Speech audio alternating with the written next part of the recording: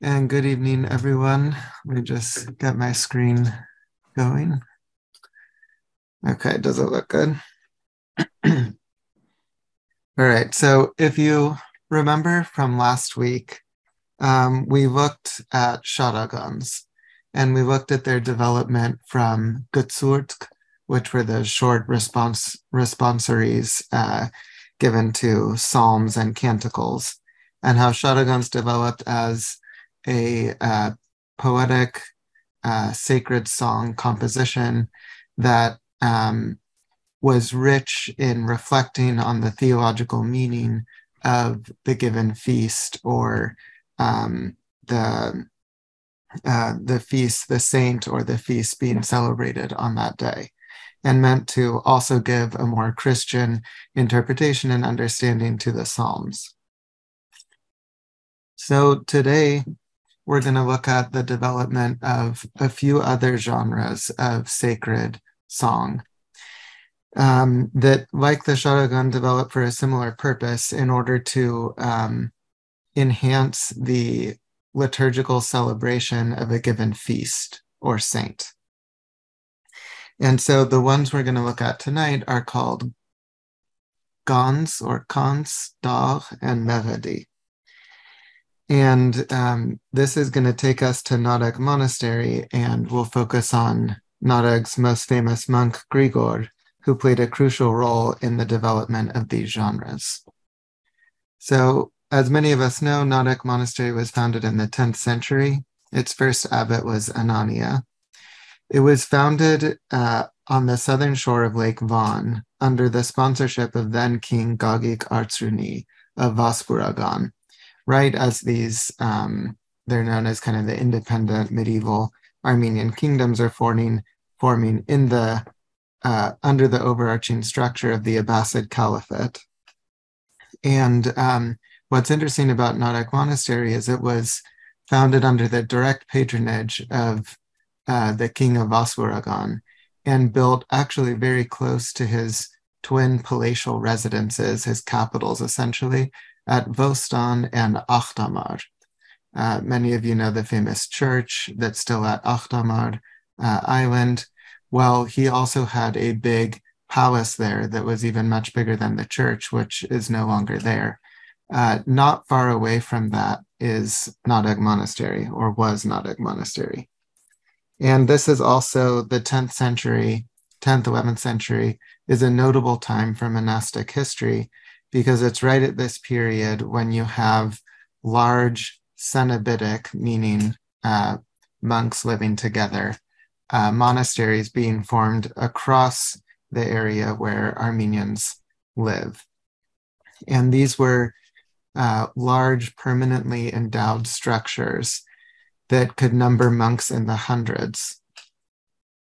And they were sponsored by the various noble uh, ruling families at the time. And they were given villages to support them to serve as sources of income and food.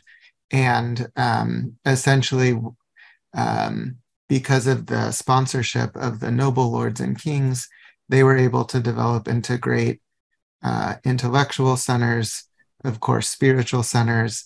They also sometimes served as hostels uh, for travelers, for merchants. Um, they also um, housed relics and were sites of pilgrimage and uh, served many other functions. Of course, for our purposes, um, as we talked about in the first lecture and all throughout last year, um, it was monks and monasteries that were the great producers and transmitters of literary culture. And so it's not surprising that also in the case of uh, sacred song and verse, we get um, major developments coming uh, from the monastic realm and in specific Narek, uh, specifically Narek monastery. So even in its day, it was renowned as a center of vibrant liturgical worship. And so Stepanos Daronetsi, Stepanos Asalig, uh, wrote Batmutundia Zeragan, Universal History, And in a few chapters uh, in the third book of his history, he talks about the various monastic uh, foundations and the famous monks and vartabeds of his day. And he says this about Narek Monastery. Also at this time, Narek was built in the district of Rushtunig under the same regulation, meaning following monasticism according to the, the ways associated with St. Basil of Caesarea.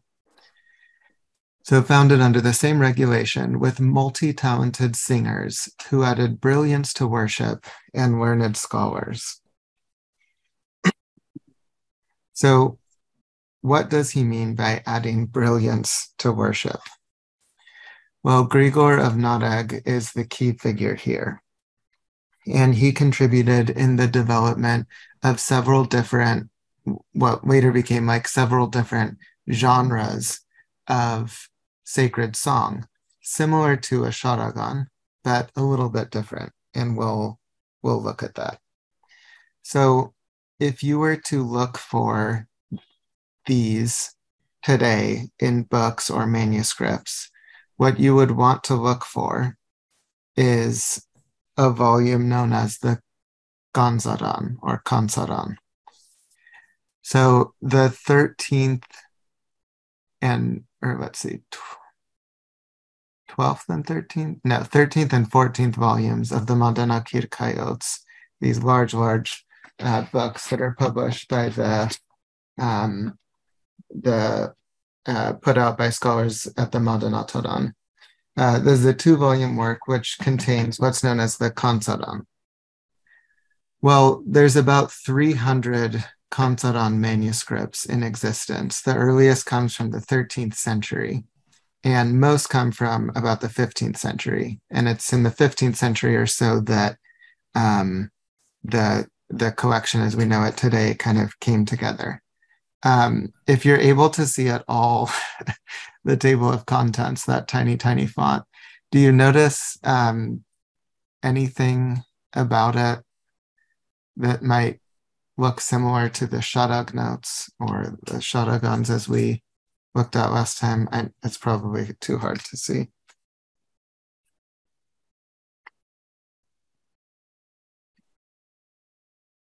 Well, if you look really closely, or if you have a magnifying glass, you can see that the first word of everything is ganon. And then you get the different feast days. So ganon zanantian canon for the Nativity. Um, the Nativity, of course, is the first feast in the liturgical year. And then you kind of go down from there. And so this, like the Shadag notes, is essentially organized according to the liturgical calendar of the Armenian Church. Um, let's let's look at an example of one of these. What what you would find if you went to one of these ganons. So I picked um, Ganon Choror Talvud Zenantian Christos Iastudzo. So this is canon for the fourth day of the Nativity of Christ God. So, as you know, the major feasts of the liturgical year, such as Nativity, Easter, etc., have eight days of celebration following them and each has their own uh, special hymns and uh, things like that. And so here's the canon of the Gans for the fourth day after um, Nativity. And um, it's it's a fairly long text, the Gans, and we'll talk about uh, about it a little bit. Um, do you notice first of all what's what's the first word of it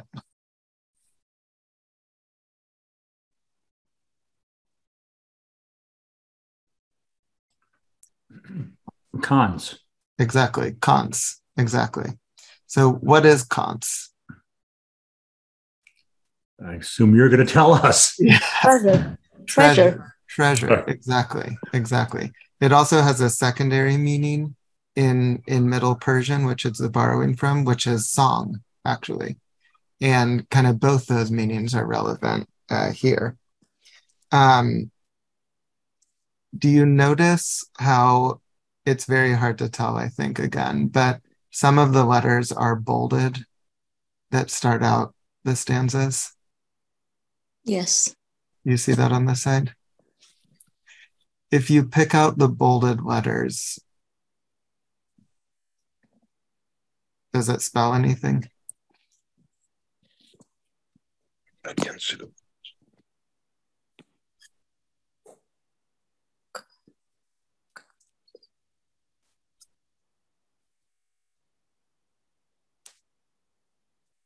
It's tough to say what's bold or not bold. It is. So Yeah. here's the first one, Mm-hmm. and here's the second. And then you jump down to here.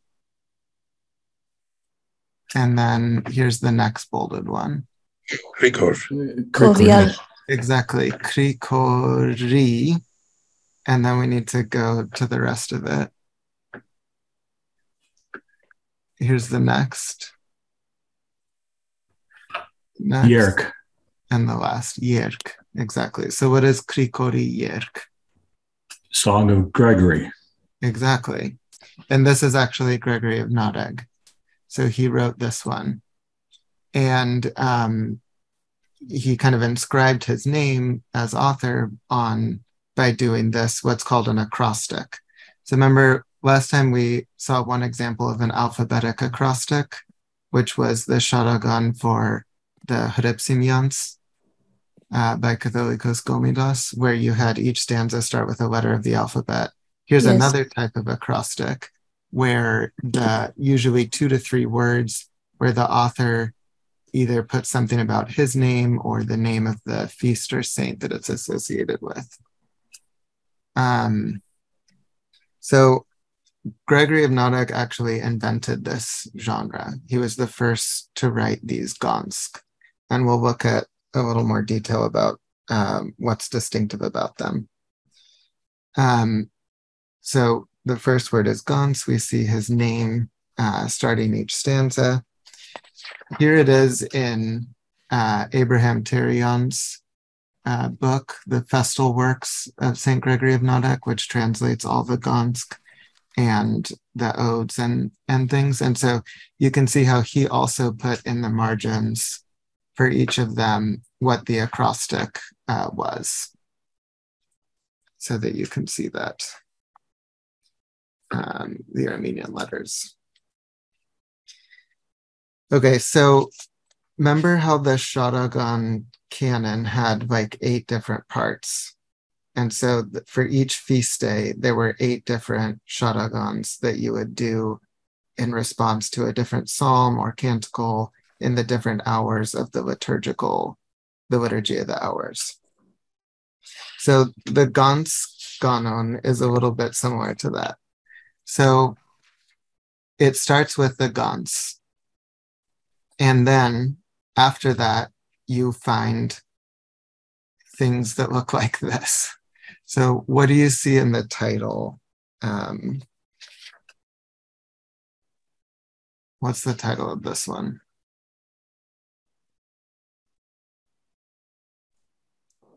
Poch. Yeah, this one is Poch, and this one over here is Dag. Dag churot avra.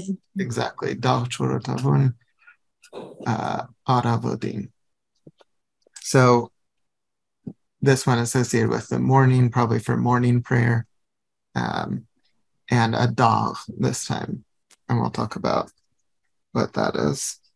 And then you get another Dag, same day, but for evening hour. So during evening prayer, and then poch. Poch we'll talk a little bit about the end, but it essentially means either some kind of variable or variation or like alternate form that you could do. Um, most of the, uh, essentially all of the Gans Ganons for each different day of the year in this book follow the same structure. You get the main cons to start out with, and then you get one or more dogs, and then pochs, and sometimes also maradi, which is essentially um, a shorter kind of dal. Um, so how about this word? Um, let me see here.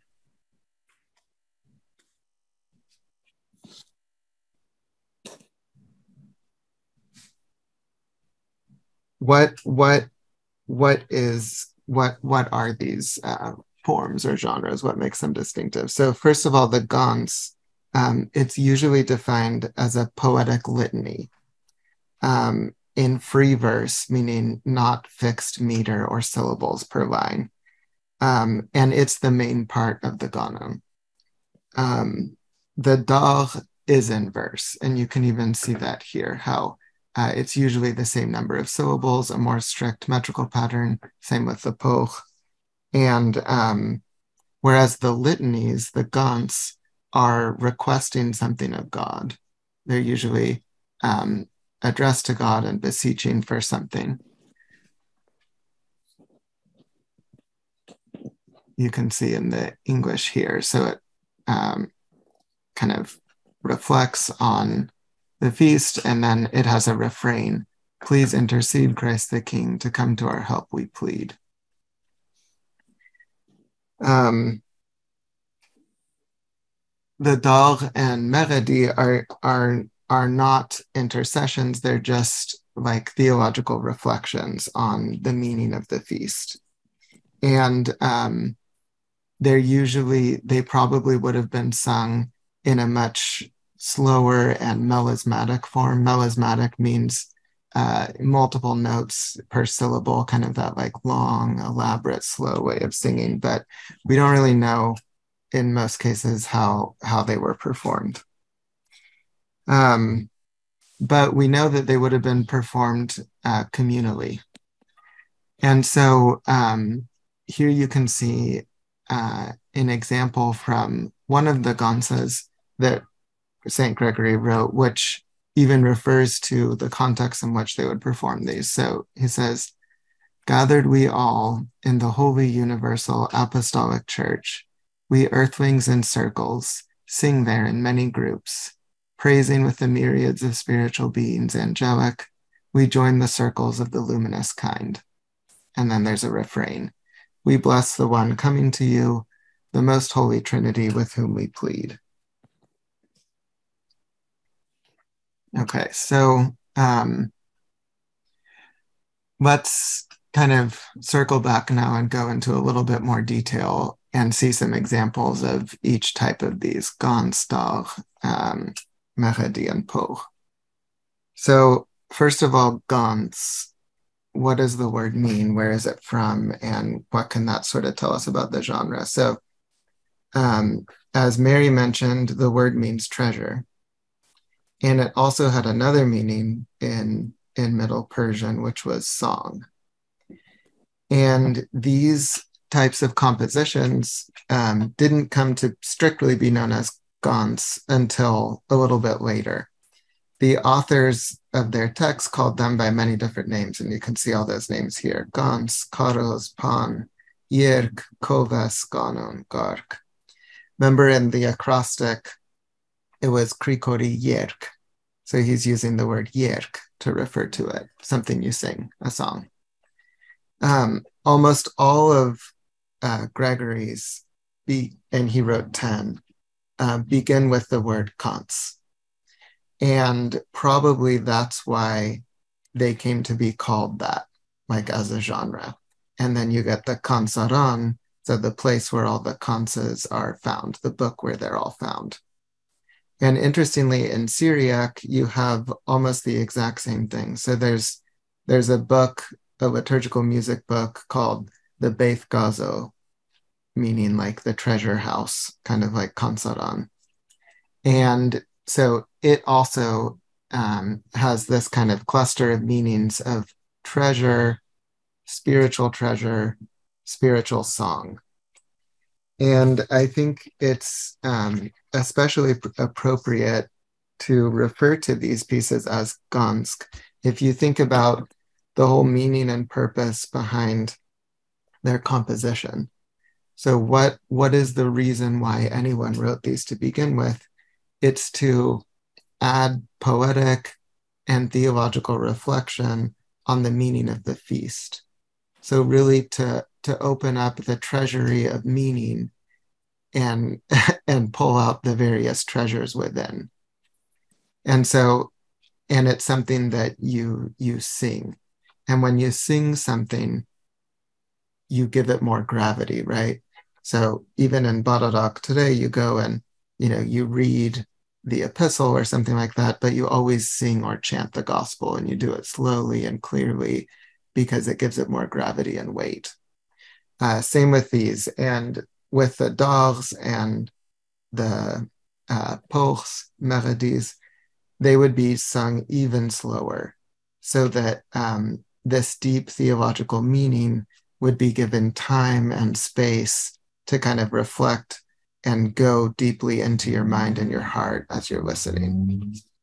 Um, we don't have very good uh, ideas of exactly how all of them would have sounded, but um, it it must have been a great experience to hear them rather than just uh, read them on the page, like you know most most people would do today, looking at them. Um, So how about um, so this this is the word comes. How about the origin of the genre? Like, what was it based on? Where did it come from? So it developed from the kados.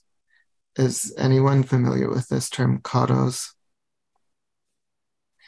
So the kados is a very important part of the Jamakirk, the liturgy of the hours, the Jamer Kutun, and it's a part that the deacon always chants out loud, proclaims out loud. Um, it's a borrowing from Syriac karozotho, which means proclamation or litany. Um, we have this nice uh, definition from Bishop Daniel, who says that in the Armenian church, a karos is chanted by the deacon and addressed to the people. It always precedes a prayer offered on behalf of the people by the priest and serves to invite the assembly to pray together for particular intentions. It's sometimes translated as litany, petition, or proclamation. Um, and it's it's um, a part of every single one of the different hours of prayer in the liturgy. The hours often multiple. And so we can look at one that maybe you're familiar with because the Arava call sunrise service is done during Lent. And so a lot of us hear this um, uh, every year. So,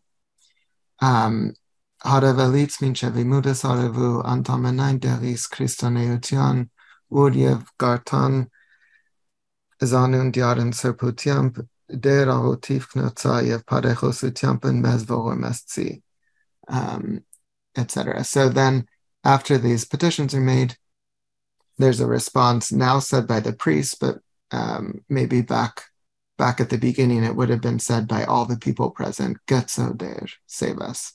And the deacon says, Zara vodes lusoyev zara chiga ores ha utiampan sitzano havadov idiarnechem trestzuk. Shnoriader is the response.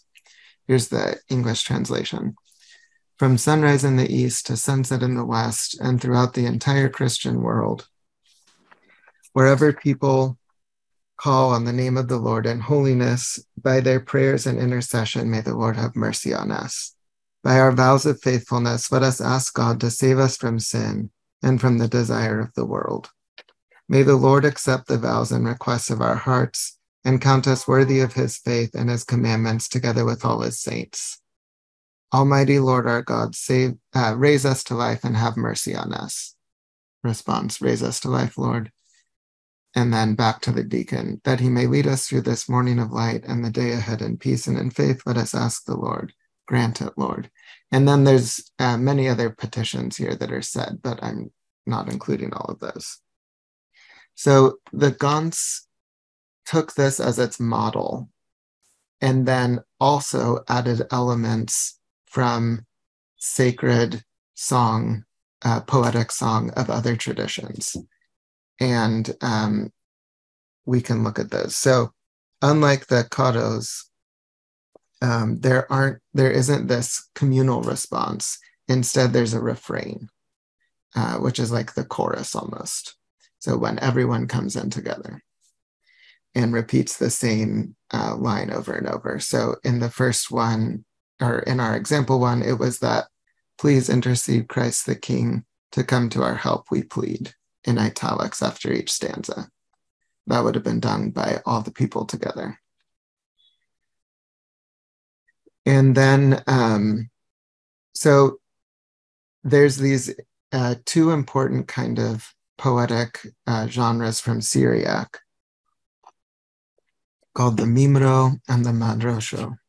Mimro is a verse homily, so um, consisting of isosyllabic couplets. So it essentially reflects uh, on a feast or on a specific saint and usually involves praise of that uh, saint and exhortation to the people, and it's in verse. Um, a madrosha, which is more important for us here, is a stanzaic hymn, so multiple stanzas, with a congregational refrain after each stanza. Um, and both of these often used acrostics to kind of uh, cement their structure, uh, either alphabetic or uh, the person's name or the name of the saint it was devoted to. And so um, the Gansk borrowed uh, these elements, the communal refrains and the acrostics, either alphabetic or of another kind, and um, kind of took the kados and transformed it in that way. And that's essentially what the Gons uh, is. And um, it's interesting and not too surprising that at this time um, that would have happened, as as we all know, Armenians and Syriacs uh, have kind of always lived together and uh, exchanged uh, texts and traditions and things. And also in the ninth and tenth century was was a major period uh, again of living together and sharing uh, of texts. So, um, how about now we look at a dog? So, um, whereas the Kants would introduce the feast and um, uh, then have these kind of refrains that are like petitions addressed to the Lord. The Dal sort of returns uh, to the same feast or theme, but in a more uh, poetic way that's meant just to kind of revel in the, the mystery and meaning. And you get very elaborate and and just beautiful, powerful language uh, in these pieces. So let's read this in Armenian first and try to listen and observe what kind of poetic devices do you see or hear in the text. This is just the beginning. This is the ode um, for, oh, I didn't even write it down. This is also written by Gregory. This is for the raising of Lazarus, I think. This is also one of Gregory of Narek's. En noro norin nuin newt, newt eaganin enen haneits ko, koln hocheits yaravorial deep, deep yeranutian nerantunag ner, ներ ներփողական նվաստադիպ գերբ գերբ երամաղին եւ ցուցանի շուկ շուկ դարաշշո զեղ մեջ ասո ըսկեդ գեդ գադարելոց գծորտակցիալ եւ էակցիալ մեդ մեդ դաղերամին ցայնաստեղծիալ եւ պրայական դղայք դղայք կովասանական համանքամայն ցիտաստանյան posta zavarj yerk. Yevalin, Yevalin. So what what kind of poetic devices do you see? Well, the last word in each line is the first word of the next line. Excellent. That's the obvious one. Did everyone see that? Yes. Yeah. So newt, newt, Newt. ko, kol, deep, deep, ner, ner. This is called chain verse, chain verse composition, where the last word of the line starts the next word of of the first. Um, what might what purpose might this have uh, besides being a nice, you know, poetic device?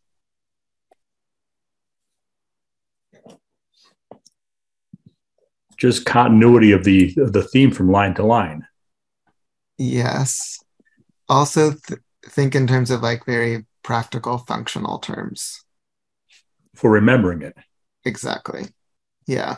Actually, most poetic devices have a very practical, functional uh, purpose of being uh, to aid in memory uh, because you're going to be chanting or singing these and you need to be able to remember it. So these kind of lock in in the performer's minds. You know, you get to the end and that's that's your your lock to start the next one and then you can keep going. Yeah. Um, what else? Other other poetic devices? Remember, there was the one I said that was the most important for Armenian poetry, or the most fundamental Alliteration. alliteration. Yeah, all all throughout this one. Listen. So, what is the alliteration in the first line? and noro norin nui newt. It all ends. No, no, no, exactly. Newt eaganin enen haneitko. Maybe a. Uh, Mhm. A is the verb of existence, and this is all reflecting on existence, essence, being, etc. in the beginning. Uh, more, more new, ner ne poagan navasta dibgerb.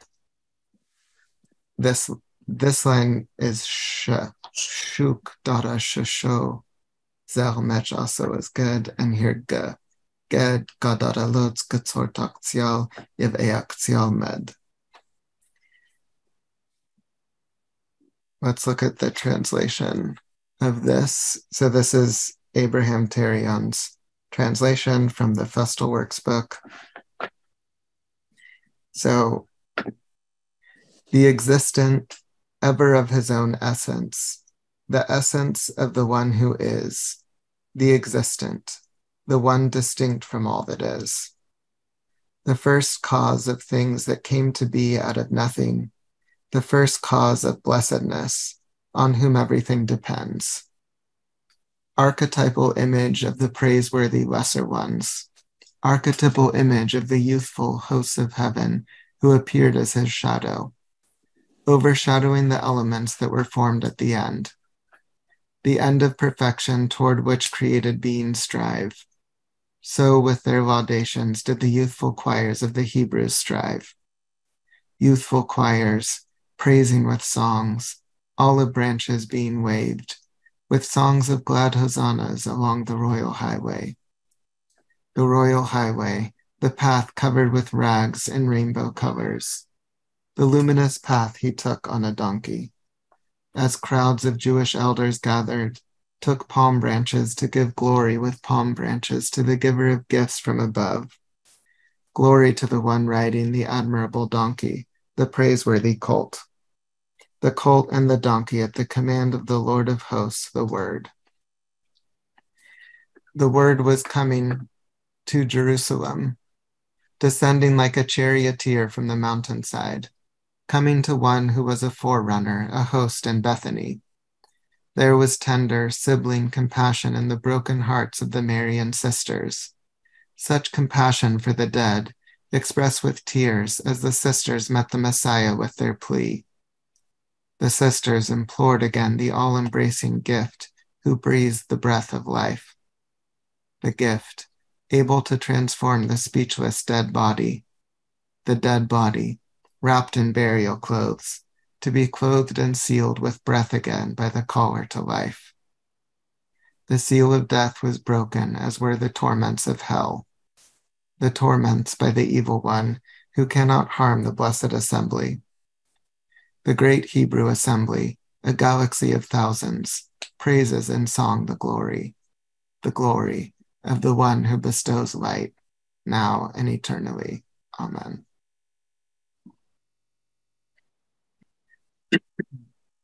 So as you can see, they're they're very dense and very rich, uh, beautiful reflections. There's there's no petition in this, right? There's nothing being asked for, nothing being urged upon either the people to do or God to do. It's really just meant to be a deep poetic uh, reflection on the mystery and meaning of what's going on in whatever uh, biblical story uh, is being celebrated that day. And uh, Gregory was really a master of composing these. He has 21 or so of these odes, and each of them is is characterized by that just very rich and dense, dense uh, language, uh, with with very uh, uh, elaborate poetic devices like this. Um, of course, we know Gregory most for his prayer book, the Madian Berkutian, but in terms of uh, poetry um, and like literary creation, um, these pieces really, really stand out. And um, these this book by Abraham Terian is excellent because not only can you read it in English, but there's really dense uh, footnotes accompanying each of these pieces. And um, without them, it would be hard to follow sometimes what St. Gregory is talking about because he's drawing so much on almost every line has an allusion to some piece of scripture. And so if you don't have scripture, uh, you know, as internally uh, part of you as a medieval monk like Gregory did, it's, it's hard to get all the meaning. But Abraham Terian does a great job of bringing that out uh, in the notes. Um, so let's see. Yeah, so in the Gansaran then is is where you go to find all these pieces. So by the 13th or 14th century, um, they they came together to put together all the Gansk and the Dach and Meghedi and Poch all together so that just like for the Shorog notes, when you would come to a specific feast day, when you would want to use one of these at the celebration of a specific feast, you would be able to go to the book and find it and then use it. Um, Gregory lived in the late 10th, early 11th century, and he wrote just 21 of these odes and 10 of the Gansk. So over the years, over the centuries, uh, up until the 15th, you had many other authors writing in these genres for all the other feast days uh, of the liturgical year. And then eventually you get the whole thing filled out. So, someone who wrote a lot of these, for example, is Nerses Shnorhali. Uh, while Gregory wrote 21 Dar, uh, Nerses wrote over 100 and they're also uh, very rich and beautiful. And actually, uh, I wanted to show one here that our own Matt Sarkissian uh, translated. So this is an ode that um, Shnorhali wrote for the feast of the Hripsimians. So here's Ode to the Holy Virgin Hripsime. And um, what do you notice about the bolded words to start the stanzas. There's eight eight stanzas. What does it spell?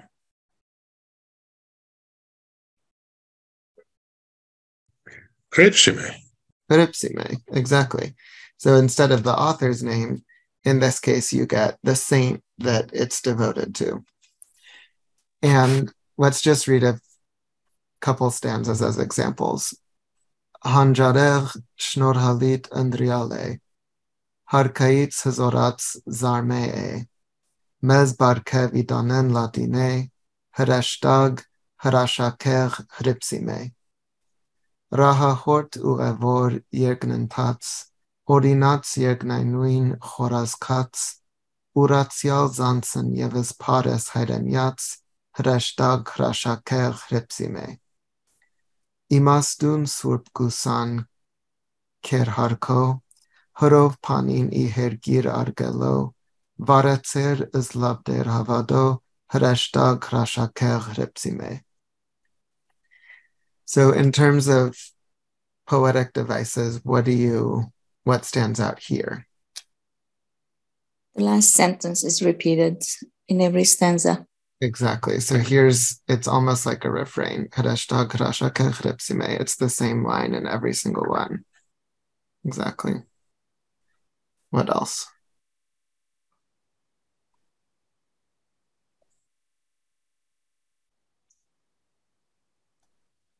We could also say alliteration again, um, especially in that line that's repeated. Mhm. Ha, ha. So haripsime. So he uses that letter ho um, in honor of her. You could say in honor of her name. Hareshtag harasha ke haripsime. You're sort of uh, rhyming at the end of each line Exactly. within each. Uh, yeah. Yep, exactly. So um, uh, Nerses uses rhyme a lot. And um, his uh, relative, Grigor Magistros, who lived a century before him, was the first to really introduce rhyme into Armenian poetry, uh, borrowed from the Arabs, uh, as I mentioned in the first lecture. And so uh, Gregory of Narek uses rhyme extremely sparsely um, and not in his odes, really. But here, Nerses Shnorhali uses it in his ode, and a lot of the later writers of odes will use rhyme. And you can see he picks a different rhyme for each stanza. So here it's a, here it's ats, here o, here yal, uh, etc. And we can read a few of Matt's um, uh, lines from Matt's translation. So, sagacious, graceful, chosen she is. From a line of mighty kings she is. To us a gift from the Latin house. Wondrously beautiful angel, Hripsime. Wayfarer, wanderer, traveler of heaven, profoundly perceptive of the heavenly law, having renounced self and glory of patrimony, wondrously beautiful angel, Hripsime. Wise, holy virgin, most revered, with fire of the word cast upon earth. So, yeah, wise, holy virgin, most revered, with fire of the word cast upon earth, you ignited the lantern of faith, wondrously beautiful angel, Hripsime. So, um, it, it, it's a really good translation uh, because you really hear the, the, the poetry coming through uh, in English. There, there's very good balance to the lines and even some alliteration, wayfarer, wanderer, profoundly perceptive, uh, that comes out in the English too. Um, Jesse, can I ask a quick quick question there? yeah, This just this line to us a gift from the Latin house. Is us here um, Armenians or just Yeah. people? Armenians, exactly. Because So is there politics in this? could be A, Latin, a lot of Latins running around around this time. around that time exactly yeah so could be um and especially because nerses and some of the uh cilician uh writers um you know uh were related to the people who've made an alliance with with the latins to form the armenian kingdom of uh, cilicia and so yeah very good historical observation about celebrating Huripsime. she's a figure that is a unifying figure between Latins, Romans, and Armenians. And so, yeah, very, very nice observation, work. Um, so there's the dog became an extremely um, um, wrote like popular genre after this, and throughout throughout the course we'll come back to different kinds of dolls that were written. Um, this poch that we see uh, com- coming near the end of the lecture. So the poch that we see is really a rubric. This this means it's a kind of direction uh, given to those performing a service, and it means one of four different things. So first, it could be an antiphon, meaning it's something to be chanted or sung in response to the main um, or, or, or sung in alternation by two different choirs. It also sometimes indicates a change in melody. So you were going along with uh, one sort of way of singing, and then you have poch to indicate, okay, remember now sing it in a different way. Um, or it it's a different kind of transition, meaning like now a priest should sing this part instead of deacons, or uh, maybe a group of deacons rather than an individual deacon. And then also sometimes, as we saw before, it could be used as a title for an otherwise untitled, partial, or modified ode. So sometimes you would take one, say you would take a, a, a dog written for Mary, the Blessed Virgin, and then you could just take it and use it for a feast of the church because so many of the images and metaphors and language about Mary is also used for the church. And so this also sometimes happens. So this is just to clarify if you see poch, um, that it could mean kind of any of these things, but it's not really like a genre like Kant's or Dog is. Okay, so um, from the time of Gregory until the 15th or 16th century is when you have all these Gansk and Doch that are written. And um, the last sort of major phase of development in the Kansadan and then putting it into its form was by a 14th, 15th century figure, Grigor of Khlat, um, who added, who's associated with adding certain feasts to the liturgical year and then composing Gansk for them. So, um, stepping back now, just to say something about what are what are kind of the significance of these. Well, like the sharag, the sharag notes and all the sharagans, it's really um, in the sharagans and the gansk and the dach where you really find the most theologically dense and rich reflections on the meaning and symbolism of the various feast days and mysteries of the Armenian church. And even to this day, they're a very underexplored and underexploited uh, resource uh, for us. So, um, thankfully, now we have Abraham Terian's translation of Gregory's uh, odes and uh, Gance's, but there's a rich, rich library of texts like this waiting to be explored, waiting to be translated, waiting to be discovered. Um, and we can all hope that uh, Matt will continue his translations of Dolls, and others maybe will be inspired to do so. And that could be a great future uh, volume in the sources from the Armenian Christian tradition, which we just started. So thank you everyone uh, for your attention again tonight, and uh, we can turn to the questions now.